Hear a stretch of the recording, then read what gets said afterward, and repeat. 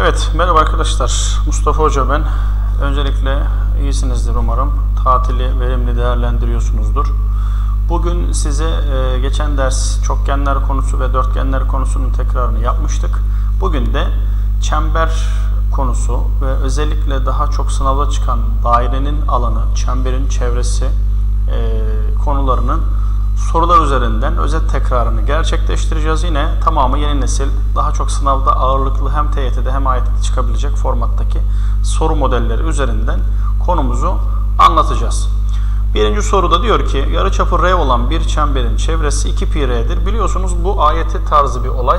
Formülü verme meselesi. Daha sonra yarıçapı R olan bir dairenin alanının pi R kare olduğunu yani böylelikle hem bir dairenin çevresi veya çemberin çevresi bir dairenin alanının da formülünü hatırlatmış olduk. Bunlar yalnız tam daireler için geçerli. Yani 360 derecenin tamamında bu geçerli. Aynı şekilde 360 derecelik bir dairenin tamamında alan pi r kare formülüyle hesaplanır. Yukarıdaki şekilde bir kenarı 2a birim olan 2a birim olan karenin kenarları üzerinde çapı a birim olan yarım çemberler çizilmiştir. Gördüğünüz üzere 4 tane yarım çember çizilmiş. Daha sonra şekildeki bazı bölgeler boyanarak bir desen elde edilmiştir. Boyalı desenin çevresi Ç. Şimdi bura önemli. Çevreyi bulalım önce. Şimdi çevre ne demiştik? Etrafından geçen bütün uzunluklar. Yarım 1, yarım 2, yarım 3, yarım 4, yarım 5, yarım 6, yarım 7, yarım 8. Arkadaşlar burada ne oldu? 8 tane yarım saydık. 8 tane yarım çemberin çevresi. Yarım çemberin çevresi. Yani bu ne demek? 4 tane tam çember demek. Şimdi bu çemberlerden e, çapına A dedi ya, kenar uzunluğuna da 2A dedi. Sonucunda da gördüğünüz gibi oran soruyor. O zaman biz bu A harfleriyle uğraşmayalım. Buradaki seçeceğimiz olayı şöyle yapalım.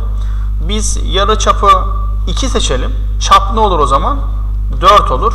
Karenin bir kenarı da 8'e dönüşür. Yani size anlatmak istediğim şu.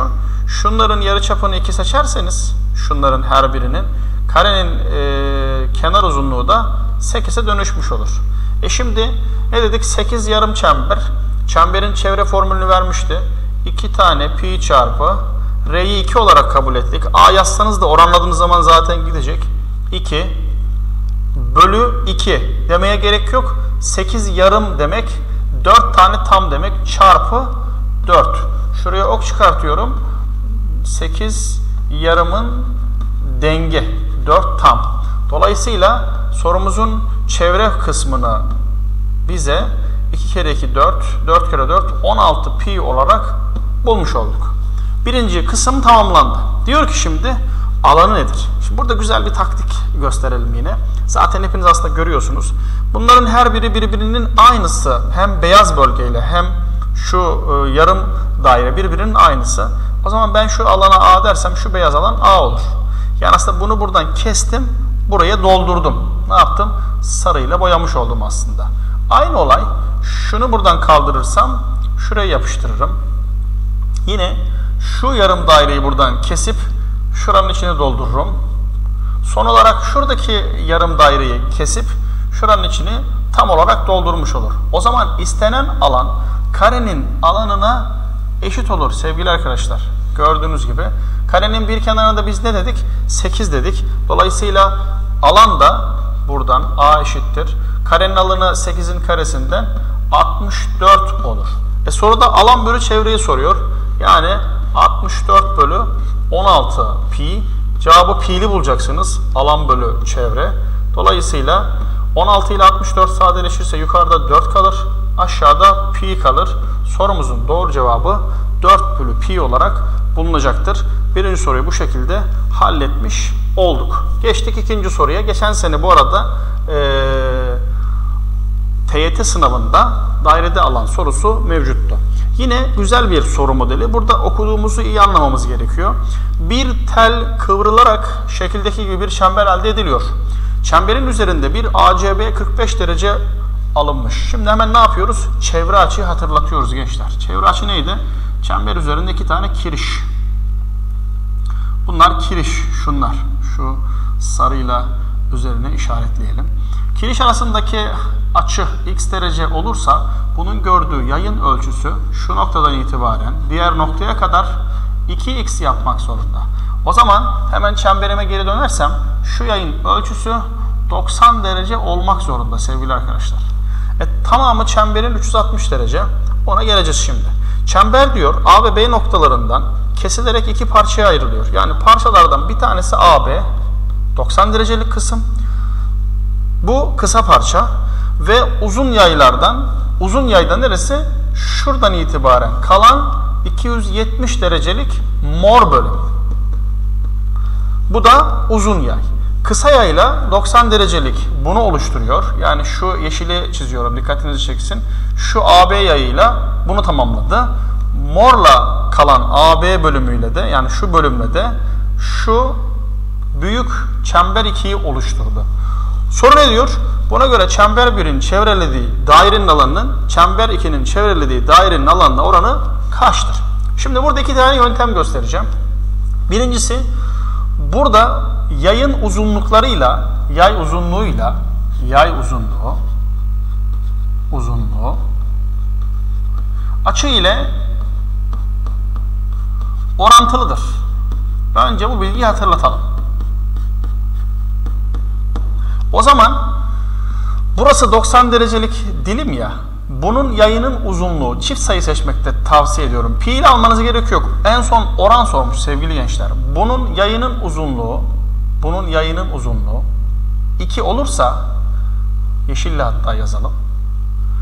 Mor bölümün yay uzunluğu 270 derece 92 kat olduğu için 6 olmak zorunda. Yani burası da hatta 2 pi yapalım. Daha e, madem formülü kullanalım önce. Sonra pratik yolu zaten söyleyeceğim. Mor bölümde o zaman şuradan şurası 6 pi olur. Yani bunun anlamı şu o zaman. Şu çemberin çevresi 2 pi. Aşağıdaki çember 2'nin çevresi o zaman 6 pi olur. Şimdi az önceki soruda görmüştük. Yeşili seçiyorum. Küçük dairenin çevresi 2 pi çarpı r'den 2 pi'ye eşitlersem r1'i yani küçüğün yarı çapını 1 bulurum. O zaman alanını da ne bulurum arkadaşlar? Pi çarpı 1'in karesi. Yarı çapın karesi demiştik ya. Pi gelir. Moru seçiyorum. Çember 2'yi hesaplıyorum. Yine formülünüz 2 pi çarpı r2. Yarı çapına ikinci r2. Bu da 6 pi eşit olmak zorunda. O zaman buradan r2 eşittir 3 gelir. Alan formülünü biliyoruz. Pi çarpı yarı çapın karesi. Bu da 3'ün karesi. Dolayısıyla 9 pi oldu. Soruda ne demişti? Küçük bölü büyükten pi bölü 9 pi'den pi bölü 9 pi'den 1 bölü 9 gelir. Şimdi bu uzun çözüm bu soru için. Ne dedik? Şu cümle aslında bizim için kısmen yeterliydi. Yay ile açı uzunluk olarak yayın uzunluğuyla açı doğru orantılıdır. Şimdi sorumuza baştan dönecek olursak cevabın 1 bölü 9 olduğunu bulduk. Bu 90 derecelik yeşil bölge arkadaşlar şunu oluşturmuştu değil mi? 270 derecelik bölgede şunu oluşturmuştu. O zaman yaylardan bir tanesi birin katı iken yeşille yazalım şurayı yine. Burası 90 derece o zaman 1 olursa 90 derecelik yay uzunluğu 1 olursa 270 derecelik yay uzunluğu 3 olarak düşünülebilir. Şimdi burada önemli bir cümle belirteceğim. Bütün daireler birbirine benzerdir. Bütün daireler benzerdir. Bütün daireler benzerdir. Benzer. O zaman arkadaşlar hepinizin şunu dediğini duyar gibiyim. Alanlar oranı benzerlik oranının neydi? Karesiydi. Ne demiş? Küçük bölü büyük. E, 1 bölü 3'ün karesini alırsanız cevap direkt 1 bölü 9 olarak zaten bulunmuş olur. Yani burada şu bilgi bir, yay uzunluğu ile açının orantılı olduğu ve bütün tam dairelerin benzer olduğunu, sonra da ikinci bakın bu, Üçüncü olarak da benzerlik oranının karesinin alanlar oranına eşit olduğunu bildiğiniz takdirde cevabınız hiç bu kadar işlemi yapmadan direkt 1 bölü 3'ün karesinden 1 bölü 9 olarak bulunmuş olur. Geçiyorum diğer soruya. Şimdi güzel bir soru arkadaşlar. Diyor ki e, sorumuz Yukarıdaki şekilde bir arabanın arka camındaki düzlemsel bölgede çalışan silecek gösterilmiştir. Eskiyen silecek üzerinde 10 cm uzunluğunda iki parça halinde kalan plastik parçalar. Şimdi normalde bu silecek tammış fakat bu eskiyince şu parçayla şu parça kalmış. Daha önce çıkmış sınav sorusunun benzeri bu. Biraz daha AYT'ye uygun bir bölümünü seçtim ben. Daha böyle işlem kalabalığı, malumunuz süreniz fazla. O yüzden böyle bir soru tercih ettim. Şekildeki 10 santimetrelik ve x santimetrelik kısımlar temizleme yapmamaktadır diyor. Yani şunlar kirli bölgeler. Bağlı bulunduğu noktadan ucuna kadar plastik bulunduğunda 120 derecelik daire dilimini temizleyebilen silecek eskidiği için sadece temizlemesi gereken alanın yarısını temizliyor. Yani bu beyaz bölümler ile siyah bölümlerin toplamı birbirine eşit ve toplamın yarısı alanın yarısı olduğunu söylüyor. Bir bölümün yarısı kadar temizlendiği için x kaçtır diye soruyor. Arkadaşlar şimdi normalde şunun formüllerini falan hepsini kullanabiliriz. Neydi? Daire diliminin formülü pi çarpı r kare bu tüm alan ama biz herhangi bir açıyı istersek 120 bölü 360 ile çarpmamız gerekiyor. 40 derece olsaydı 40 bölü 360 90 olsaydı bölü 4 diyecektik. Yani aslında bu da 3'te 1'idir toplamı. Pi r kare bölü 3'tür. Toplam sileceğin alanı. Şimdi ben soru kolay çözülsün diye bu soruyu muhtemelen çözerken biraz zorlanabilirsiniz belki. Öyle düşünüyorum. Kolay olsun diye hiç bölü üçleri falan için içine karıştırmayacağım. Çünkü bütün bölgelerde bölü 3 var. Hepsi de aynı merkezli daire. O zaman sırayla gidiyorum arkadaşlar. Şimdi seyredin bakın. Şu alana A dersem şuna aslında 3A diyeceğim. Niye 3A diyeceğim? Benzerlik oranı 10 bölü 20. 10 bölü 20 demek 1 bölü 2 demektir. Alanlar oranı da 1 bölü 2'nin karesinden 1 bölü 4 olur. Dolayısıyla burası A ise burası toplamda 4A yapmalı şu bölme. 4A yapmalı. Şimdi buraya B, A, 3A, burası B olsun, burası da C olsun sevgili arkadaşlar. Diyorum ki soruyu çözerken şöyle yapalım bakın. Hiç pi'leri falan filan için içine karıştırmayacağım. Dikkatli bir şekilde ben izlemenizi istiyorum. A'nın alanı onun karesiyle doğru orantılıdır. Doğru orantılıdır bakın. O zaman 3A'nın alanı 3 çarpı onun karesi yapar. Şimdi bir de B bölgesi var. B bölgesini nasıl bulacağız hocam? B bölgesini de şöyle bulacağız. E 4A artı B dediğimiz yer yani şurası sevgili arkadaşlar şurası şu bölüm yarıçap olarak 20 artı x. O zaman 20 artı x'in karesinden çünkü buranın alanı 20 artı x'in karesiyle pi çarpı 20 artı x'in karesi bölü 3 diyeceğiz ama bölü 3 ile pi'leri karıştırmayacağımızı söylemiştim.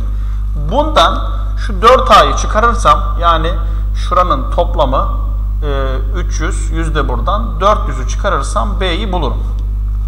Şimdi soruyu bitiriyorum son noktaya geldim bakın. Şimdi sorunun toplam alanı, toplam alanı pi çarpı pi'yi karıştırmayacağız demiştik. Yarı çap uzunluğu 30 artı x.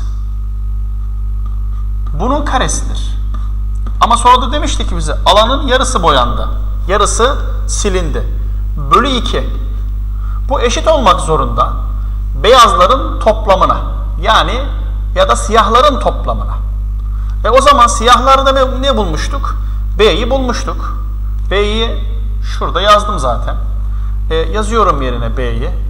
220 artı x'in karesi eksi 400 artı bir de ne ekleyeceğim? A'yı ekleyeceğim. A'yı da zaten ne bulmuştuk? Onun karesinden 100.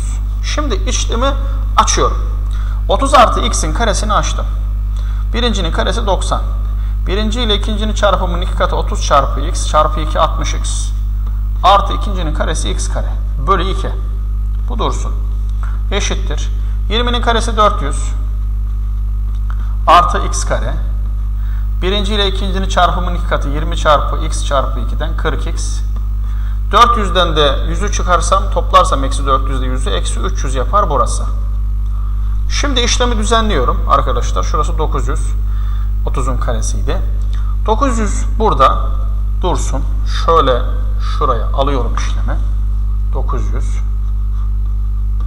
artı 60x artı x kare. İçler dışlar çarpımı yapacağım. Şunun altında gizli 1 var. Şu 2 ile de şurayı çarpacağım. 1 ile de burayı çarpacağım. Eşittir 800 artı 2x kare artı hatta şöyle yapalım. 800'ü değil de şu 400 ile 300'ü işleme koyalım. Şu 400 ile eksi 300'ü. Buradan ne geldi? 100. 2 ile çarparsam 200 yapacak burası. Dolayısıyla şuraya 200'ü ekleyelim. Artı 2x kare artı 40 çarpı 2 de 80x. Şimdi yavaş yavaş bitiriyorum. Bilinenlerle bilinmeyenleri bir tarafa topladım. x kare geldi. Eksi 40x artı 20x yapar hatta. Şu ikisinden. Şöyle yeşili seçelim. 60x ile buradan artı 20x geldi. Son olarak da 900 ve 200'den de şu 900 karşıya eksi diye geçer. Burada da artı 200 var. Eksi 700 olur. Şurası. Eşittir 0. Şimdi hocam çok yorulduk. Artık bitirelim soruyu. Yeşille şurada bitiriyorum. x kare artı 20x eksi 700'ü arkadaşlar tam kareye çevireceğim. İzliyoruz. x artı 10'un karesi. Bu da ne demek? x kare artı 20x artı 100 demek. Ama biz eksi 700 arıyoruz. O zaman şuraya eksi 800 yazacağım. Bunu da sıfıra eşitleyeceğim. Dolayısıyla şurası x artı 10'un karesi eşittir 800 oldu sevgili gençler. Her iki tarafın kare kökünü alırsam, her iki tarafın kare kökünü alırsam olay şöyle olur. Artık yeşille şuraya çekeyim işlemi x artı 10 eşittir 800 arkadaşlar nedir? 36 çarpı 16 çarpı 5 80'dir değil mi? Yani ee, kökün dışına çıkarken yaklaşık olarak 20 kök 2 diye mi çıkar? Tabii 20 kök 2 diye çıkar burası. Dolayısıyla onu da karşıya atarsam x eşittir 20 kök 2 eksi 10 olarak bulunmuş olur. Cevap D seçeneği. Ağır bir soru farkındayım. Ee, böyle bir AYT sorusu gelebilir mi? Gelebilir. Malumunuz 2,5 milyon tane öğrenci sınava girecek ve bunlardan bazı öğrenciler daha iyi sonuçlar elde etmesi gerekecek. O yüzden bunları ayırabilmek için bu tarz sorularda bu tip işlemler isteyebilir. Normalde arkadaşlar bunu birebir de anlatmış olsaydım sizlere daha kısa bir şekilde anlatırdım ama video üzerinde olduğu için bu şekilde uzun tutmam gerekiyor. Diğer soruya geçiyorum. Yukarıdaki şekilde yarım çember biçimindeki su bentlerinin üzerine köprü yapılmıştır. Şunlar su bentleri, yarım daire, çapı 12 olan yarım daire, yarım daire, yarım daire. Köprümüz de şu. Yeni nesil soru modeli işte yani. Köprünün toplam genişliği AB kaç metredir diye soruyor. Arkadaşlar çok güzel bir soru. Aslında çemberde uzunluk sorusu bu. Şimdi biz diyoruz ki bakın slogan olarak çemberde aslında 5'e bölüyorum. Bir kiriş. Şuraya yazayım isterseniz. Kirişe dik indir. Ne zaman? Bunu e, sözel olarak söyleyeceğim. Kirişe dik indir. İndir. Ne zaman indiriyoruz kirişe dik arkadaşlar? Kiriş uzunluğu çift olursa veya istenirse. 2. TYT dik indir. TYT dik indir. 3. Arkadaşlar ne demiştik? Çemberler birbirine teğet olduğu zaman çift çember merkezleri birleştir. 4 kuvvet özellikleri 5'te benzerlik tipinde sorular mevcuttu. Biz bu soruyu çözerken sadece 2 numaralı maddeyi kullanacağız. Dikkatinizi çekmek istiyorum. Şimdi burada teğetlerimiz mevcut. Merkezden şunun merkezini seçtim. Teğete diki indirdim. Bu çemberin yarıçapı 6. 6, 6. Aynı şekilde şuradaki merkezden teğete dik indiriyorum. Yarıçap 3, yarıçap 3, yarıçap 3. Şimdi dikkatli bir şekilde lütfen izleyin beni. Arkadaşlar şurada bir yamuk bölge oluştu bakın. Şu köşelerini mor renkle işaretliyorum. Hatta kırmızıyı seçeyim görmeniz açısından. Bu yamukta bir dikdörtgen oluşturacağım içeriden. O da şöyle oluşturuyorum. 3 şuraya geldi. Buradan da 3 kaldı. Dolayısıyla artık sorunun bittiği noktaya geldik. Şurası da ne oldu sevgili gençler? 9. Şimdi şunlar birbirine paralel oldu bakın. Doğru mu arkadaşlar? O zaman burada paralellik varsa benzerlik devreye girer. 9'un şu parçaya oranı, şuradaki 3'ün şuradaki 6'ya oranı. Benzerlik oranı 3 bölü 6 eşittir. O zaman 9 bölü 18 olmak zorunda. Yani burası 18 geldi. E hocam aynı olayı bura için de yaparsak arkadaşlar şu mantıkta aynı olayı bura için de yaparsak olayı bitirmiş oluruz. Hatta vazgeçtim. Bu tarafta diğer yöntemi göstereceğim. Şurası 6, şurası 3, şurası 3, şurası 3, şurası 6. Arkadaşlar sol tarafta yamuk oluşturmuştum ya. Sağ tarafta da şunu kullanacağım. Şurası 3 değil mi gençler? Şurası da 6 değil mi? Bunlar da birbirine paralel. Yine benzerlik oranı 3 bölü 6. Şuraya x diyelim. x artı 3'ün toplam uzunluk 6 e, burada, 6 da burada. x artı 3'ün x artı 12 oranı. Yine x buradan ne gelecek? 6 gelecek. 1 bölü 2 olması için. 6 olursa 9 ve burası da 18 olacak. x dediğim parçada 6 gelecek. Yani buraya aslında yine 18 bulmuş olduk. E şurada zaten 6 idi. Şimdi topluyorum. 18 buradan. 18 buradan 36. 6 da buradan 42. 6 da buradan 48 olur. AB'nin bendinin genişliği toplamda cevap C şıkkında bulunmuş olur.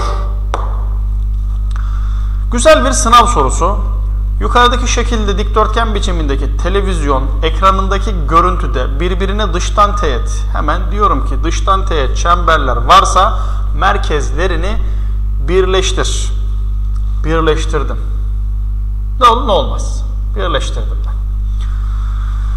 Devam ediyorum soruyu okumaya. Merkezleri köşelerde olan iki çeyrek daire görülmektedir. Şimdi şunların çeyrek daire olduğunu söylüyor. Şunla şu çeyrek daire. Ve bu çeyrek dairelerin uzunlukları televizyonun şu kısa kenarına eşit. Bunun da hemen merkezini birleştirdim arkadaşlar. Devam edelim yolumuza. Bir süre sonra kamera daha geniş bir bölgeyi görüntülemek için geri alınıyor ve yukarıdaki gibi dairelerden bir kısmı görülüyor. Bu görüntüde televizyon karşılıklı iki köşesi, karşılıklı iki köşesi yani şu bir köşe, şu da bir köşe. Daireleri çevreleyen çemberlerin üzerine gelmiş oluyor. Hmm, şimdi bura önemli. Bu daireleri normalde arkadaşlar şöyle düşünürseniz şöyle çevreleyen çember her ikisini de şöyle bir çemberdir. E o zaman ne olacak? Yine merkezleri siz birleştirdiğiniz zaman bakın şu yarı çap uzunluğuna R, R, R, R dersem çevreleyen çemberin çapı 2R, merkezi de şurası olacağına göre yarı çapı 2R olur. Buna göre diyor ilk görüntüdeki dairenin yarı çap uzunluğunun son görüntüdeki dairenin yarı çap uzunluğuna oranını bulun. E sevgili arkadaşlar şimdi biz şunun yarı çapına R, R demedik mi? E hocam bu dikdörtgeni nereye koyacaksınız? İşte o dikdörtgenin aslında kırmızı çember çevrel çemberinin kendisidir. Yani bizim çemberimiz aslında şöyle buraya teğet olarak dönmektedir. Bu da şöyle buraya teğet olarak dönmektedir. Dolayısıyla soru bitmiştir arkadaşlar. R. Yani bu durumda bunun yarıçapı R oldu. Peki şunlara ne diyeceğiz? E arkadaşlar burası zaten inç diyoruz ya hani televizyonun inci. Şurası toplamda 4R değil mi? O zaman 2R burada, 2R burada. Sonuçta televizyonun bu inç bölümü yani şu bölüm kaç inç diye hatırlamıyor musunuz? LCD televizyonlarda şu kadar inç, 46 inç, 42 inç, 38 inç. Şu an sallıyorum tabi. İşte bu da bunun köşegen uzunluğu dikdörtgende aynı olacağı için 4R. Bu da 4R'ye eşit. Yani sorumuz bitmiş oldu. İlk görüntüdeki dairenin yarıçapı 2R. Son durumda R olduğu için 2 bölü 1'den 2 gelir. Sorumuzun doğru cevabı.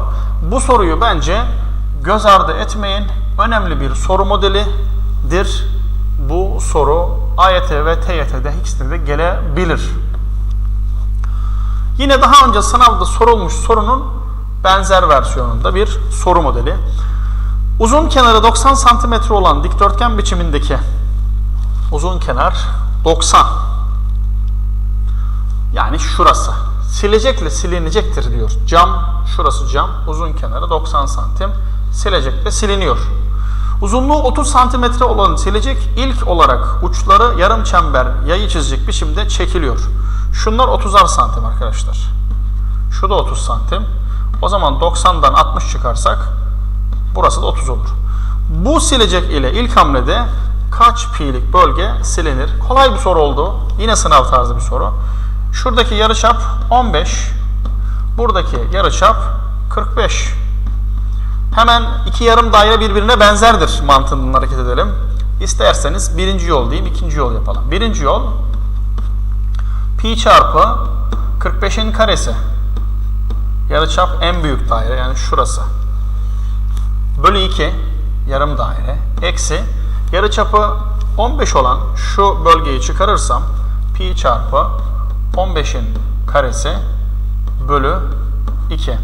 Pi bölü 2 parantezini alalım. 2 kare farkı ortaya çıktı. 45'in karesi eksi 15'in karesi. Bir daha bunların karelerini bilmiyorsanız e, açmanıza gerek yok. 45 eksi 15 pi bölü 2 parantezinde 45 eksi 15 çarpı 45 artı 15 arkadaşlar. 2 kare farkı a eksi b a artı b. Burası ne yaptı şimdi? 30. Şurası da 60. 30 kere 60 1800 ikiye bölersem cevabımız 900 olarak bulunmuş olur. Bu birinci yol olsun. İkinci yöntemi şöyle göstereyim. Bunlar birisi yarıçapı 15, birisi 15, birisi 45. Benzerlik oranı 1 bölü 3. İkisi yarım daire olduğu için bunlar birbirine benzerdir. Yani merkez açısı aynı olan çeyrekler benzerdir, 60 derecelikler benzerdir. Tam dairelerdeki olduğu gibi. Alanlar oranı o zaman 1 bölü 3'ün karesi olacak. 1 bölü 9. Yani buna A dersem büyük yarım daire 9A olacak buraya 8A kalacak. E ben sadece A'yı bulup 8 ile çarpmam gerekecek o zaman. Dolayısıyla 1 bölü 3'ün karesi 1 bölü 9 oldu. 15'e 45'ten. Burası A olunca burası 8A oldu. A ne olacak? A eşittir pi çarpı 15'in karesi bölü 2. E ben 8A istedim. 8 çarpı 15'in karesi 225 yapar biliyorsunuz. Bölü 2 çarpı pi. Hemen sadeleştirmemizi yapalım. Şunun da şunu sadeleştirirsem 4. 4 kere 225 900 yapar arkadaşlar. Yine sorumuzun doğru cevabı iki yöntemden de göstermiş oldum. Bu benzerliği özellikle vurguluyorum ki bazı sorularda benzerlik bizim için kısa bir çözüm oluyor. Geçtik. Evet güzel bir açı sorusu. Bu soruyu aslında derste de kullanmıştım. Burada bir kere daha hatırlatıyorum. Böyle bir soru çıkarsa gerçekten çoğu öğrenci arkadaşımızı eleyecektir. Kesinlikle buna şüpheniz olmasın sevgili arkadaşlar. Bu aslında zor bir soru değil ama görmesi zor bir soru. Yani sorunun kendisi e, zaten karışık gibi duruyor. İşte pergel var, çizme var falan filan. Ama görme noktasında hani geometride biz hep deriz ya bakmakla görmek aynı şey değil. Evet bu soruya bakıyoruz, pergeli görüyoruz bir de çember çizmiş ama bunu görebiliyor muyuz? Bakın hemen ilk gördüğümü söyleyeyim bakın. Adam diyor ki BOD açısının ölçüsünü bulun diyor. Yani şu açı toplamda kaç derecedir? Sorumuz bu. Hemen ilk gördüğümü söyleyeyim size bakın. Şu kareden dolayı şu karenin tam köşelerinden geçiyor ya 45 derecelik açıyı yakaladım. Şu parçada 45 derece. bir kere 45 derecenin üstünde olduğu kesin. Zaten şıklarda da hepsi 45 derecenin üstünde. Gördüğünüz gibi. Hepsi 45 derecenin üstünde. E şimdi devam ediyorum arkadaşlar. Dikkatinizi çeksin ikinci durum. C noktasını bakın nokta olarak vermiş. Sayıyorum o zaman. 1, 2, 3, 4 santimetre bunun yarıçapı. Arkadaşlar şimdi sorunun bu kısmı çok önemli. Bunun yarıçapı 4 santimetre ise kesinlikle şurası da çemberin üzerine doğru çizildiği için 4 santimetre olmak zorunda. Şurada 2 birim. Neresi hocam? Şurası 2 birim. Şu D noktasından şu diki devam ettirirsem şurası çünkü köşe, karenin köşesine denk geldiği için 90. Dikkatinizi çeksin. İçini sarıyla boyuyorum. 90'ın karşısı 4. Bu kenar 2. Demek ki bu üçgenimiz kesinlikle 30 60 90 üçgeni. Şu açı 30 derece. Bu açı da o zaman 60 derece olur. Ve sorunuz bitti arkadaşlar. Buraya da 30 derece kalmış oldu 90 olması için. Yani sorumuzun doğru cevabı şu açının tamamını istiyordu. 40 artı 35'ten 30 45 artı pardon 45 artı e, 30'dan 75 derece olarak bulunmuş olur. Güzel bir sorudur bu. Cevabımız D seçeneği. Evet, güzel bir tasarım oluşturmuş Nuray Hanım. Bir firma için yukarıdaki gibi bir logonun tanıtımında şu şekilde bilgiler vermiştir. 3 adet eş altıgen oluşur. Altıgenin bir kenarı 6 santimetredir. Burası önemli. Altıgenin bir kenarı 6 santim. 6 santim. Demek ki dairelerin yarı çapları 6 santim olarak bulunmuş oldu. Sevgili arkadaşlar. Çemberlerin yarıçapı altıgenin kenarına eşit. Onu zaten biz görmüştük. Çemberlerin merkezi altıgenlerin ortak köşesidir. Yani şunlar çemberlerin merkezidir demek istiyor. Şimdi şurada bir çember altıgen meselesi yapalım kısaca. Size onu burada göstermek istiyorum. Bir altıgen çizelim şöyle. Bir de çember oluşturalım. Bir şey görmenizi istiyorum burada. Şöyle çemberimizi de bir çizelim. Abarttık meseleyi. Şöyle alayım arkadaşlar. Bakın şimdi bir şey göstermeye çalışacağım size burada. Evet. Biraz daha küçültürsem mesele oldu gibi. Şimdi sevgili arkadaşlar burası önemli bir olay. Herhangi bir altıgende bütün kenarlar birbirine eşittir. Düzgün altıgen olmak şartıyla tabi. Herhangi bir altıgen derken düzgün altıgen olacak bu. Çemberde biz deriz ki kirişler birbirine eşit olursa bunların sınırladığı yayların uzunlukları yani şuraya AB dersem AB yayının uzunluğu şurası. Aynı zamanda ölçüsü. Şu C dersem AB yayının uzunluğu eşit olmak zorunda BC yayının uzunluğuna. Hem de açısal olarak da AB ölçüsü eşittir BC yayının ölçüsüne. Yani kısacası kirişler sınırladığı yayları ve açıları eşit tutar. Aynı mantık bu alanları da eşitlemek zorunda. Yani şu çemberle altıgen arasında kalan alanlar her biri birbirinin aynısıdır tıpkısının. İşte burada bu özelliği kullanacağız. Şimdi dikkatinizi çekmek istiyorum. Hatta şurayı sileyim. Şekli de biraz büyüteyim ki olayı daha iyi görün diye. Şöyle biraz daha büyütüp aşağıya çekelim. Olayı görün istiyorum. Şöyle. Niye bu yukarı gidiyor? Evet. Şimdi aşağıya alıyoruz. Aynen. Bir dakika. Hah.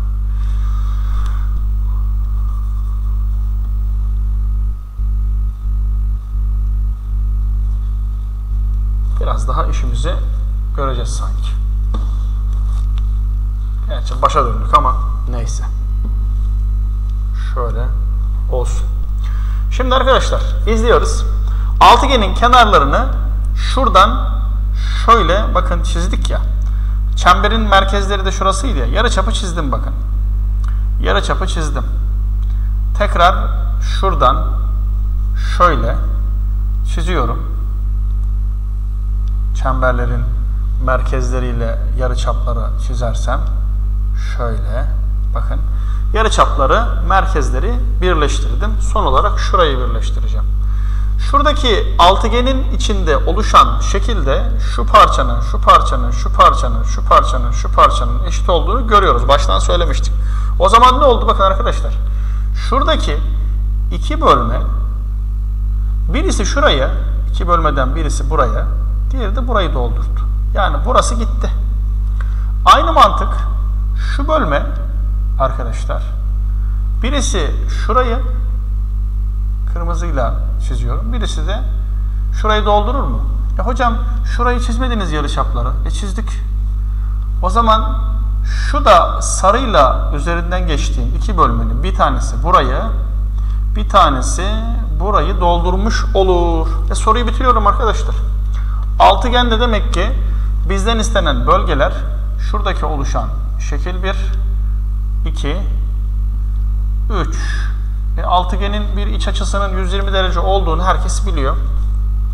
Şunu çizersem şurada iki tane eşkenar üçgen oluştururum. Bir kenara 6 demiştik. Yarıçap da aynı şekilde 6 idi.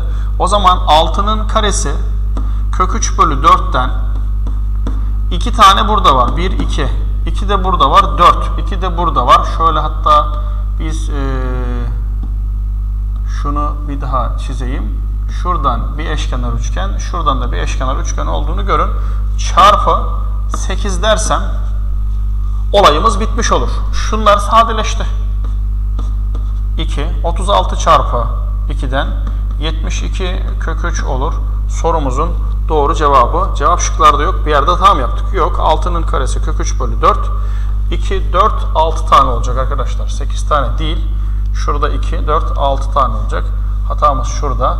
Çarpı 6 diyeceğiz. Dolayısıyla şurası 2 olacak. Şurası 3 olacak. Değil mi? Düzelttik. Ee, 36 bölü 2. 18. 3 ile çarptım. 54 kök 3 gelecek. Sorumuzun doğru cevabı. Çünkü burada 2 tane, 2 de burada 4, 2 de burada 6 tane, 8 tane değil 6 tane eşkenar üçgen mevcut. Güzel bir soruydu geçtik. Evet, yine daha önce sorulmuş bir sorunun benzeri. Nuray kum saatinin boş başlama ve bitme süresinin kronometre tutanak 1800 saniye sürdüğünü gözlüyor. Ben yine bunu hemen sorunun başında 1800 saniyeyi dakikaya çeviriyorum arkadaşlar. Bölü 60. Ne yaptı? 30 dakika yaptı. 30 dakika yani bu. Şekildeki duvar saatinde akrebin boyu 12 santimetre, yelkovanın boyu da akrep dediğimiz şu küçük olan 12, yelkovan da 16 santimetre olarak verildi. Buna göre kum saatindeki kumlar bittiği anda akrep ile yelkovanın taradığı alanlar toplamını soruyor. Şimdi burası önemli. Arkadaşlar normalde yelkovan yelkovan 60 dakikada 360 derece döner. Yani buradan bir başlar 1 saat içerisinde başladığı yere geri gelir. Yani 360 derece tarama yapar. O zaman 30 dakikada 180 derecelik bir yarım daireyi tarar. Yani onu şöyle morla göstereyim size. 180 derecelik yarım daireyi taradı. O zaman pi çarpı 16'nın karesi bölü 2. Bu bize arkadaşlar neyi verdi?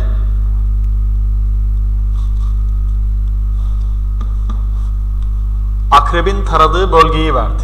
128 pi. Devam ediyorum yoluma. Şimdi burası önemli. Pardon yelkovanı hesapladık biz. Şimdi akrebi hesaplıyorum. İyi seyredin. Akrep. Şimdi akrep 8'den 9'a doğru hareket edecek. Doğru mu gençler? Ve bu işlemi 60 dakikada gerçekleştirecek.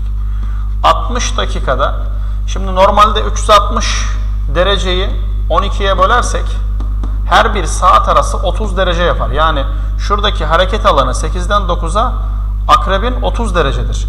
60 dakikada 30 derece hareket ederse akrep 30 dakikada bunun yarısı kadar yani 15 derecelik bir tarama yapar. Yani akrep dediğimiz arkadaşlar tam şuraya gelir 9'a gelmez. Şunu biraz daha şöyle yapalım.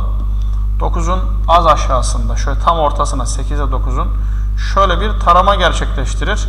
Ve buradaki açıda yarıçapı 12 olan 15 derecelik bir daire dilimidir. Şu açıda 15 derece. O zaman pi çarpı 12'nin karesi bölü 360 çarpı 15'te durumunu arıyorum. 15'te durumunu arıyorum. Şunları sadeleştirelim. 15'te 360, 24 ve 1.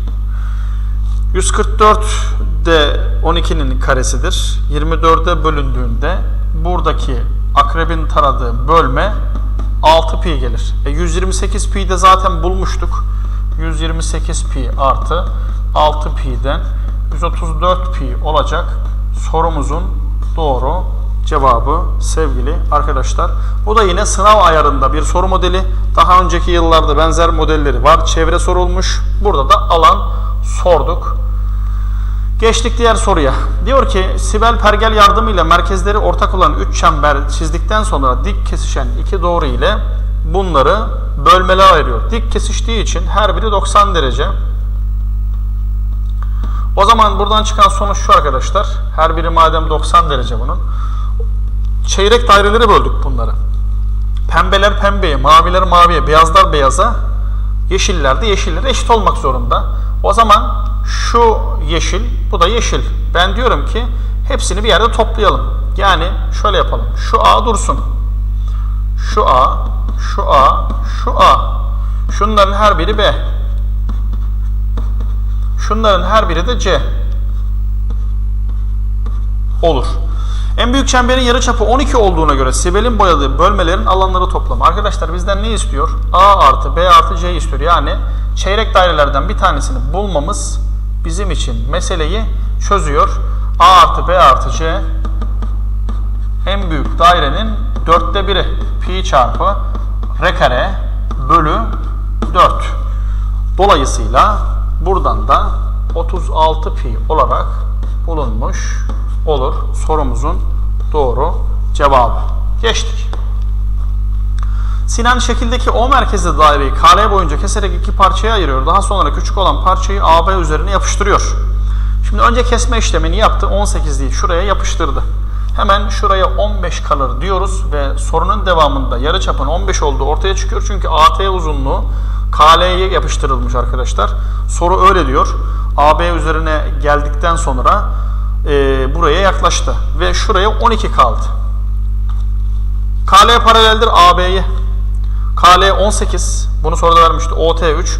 Buna göre LTB üçgeninin e, alanı nedir diye soruyor. Arkadaşlar şimdi bunlar başlangıçta birbirine paralel verdi ya. O zaman buradan çıkan sonuç şudur. Bunlar birbirine paralel ise şu yayların ölçüleri kesinlikle eşittir. Şurada gösterilmeden eşit olduğunu. Şuna alfa dersem yayın ölçüsü 2 alfa. Bu da alfa z'den dolayı. Bu da 2 alfa. O yüzden burası kesinlikle birbirine eşittir. Şimdi çemberin yarıçapını O noktasından L'ye birleştiriyorum. Yarıçapın 15 olduğunu biliyorum. E hocam sonra ne yapacağız? Sonra şunu yapacağız. Şimdi dikkatinizi çeksin. Bizde LTB'nin alanını soruyor ya. Bu üçgenin bize yüksekliği lazım. L noktasına yüksekliği çizdim. Şöyle biraz daha güzel çizelim. L noktasından yüksekliği çizdim. E, sevgili hocam bundan sonra ne yapacağız? Şimdi şu yukarıya dönüyorum. LB AK'ya eşit olmak zorunda. Çünkü 2 alfa 2 alfa eşitse bu kirişler birbirine eşit olmalı. O zaman AK'yı şuradan çizersem burada bir ikizkenar yamuk oluşturmuş oldum mu sevgili arkadaşlar? Şuradan tekrar bir dik daha indirirsem şuranın 18 olduğunu biliyorum zaten. O zaman şuraya 18 kalmaz mı şöyle? Toplam 30 olduğuna göre 30 eksi 18 bölü 2 12 bölü 2'den 6. Hocam bu 6 neresi? Şu, bu 6 arkadaşlar şunlar. Şunun bir tanesi 6, bir tanesi 6. Niye? Çünkü ikizkenar yamuğu hatırlatalım. İkizkenar yamukta biliyorsunuz şu üçgenler birbirinin aynısıydı. Tekrar hatırlatıyorum. Taban açılar eşitti ikizkenar yamukta. Şurası C diyorduk. Buraya A diyorduk. Şu mavi parçalardan her biri birbirine eşit oluyordu. Eş üçgenden dolayı bunlar birbirine eşiydi. Dolayısıyla şu uzunluğa x dersem x eşittir a eksi c bölü 2 diye bulunuyordu. Bunu hatırlatmış olduk ve soru artık bitti. Şuraya da 6 kaldı.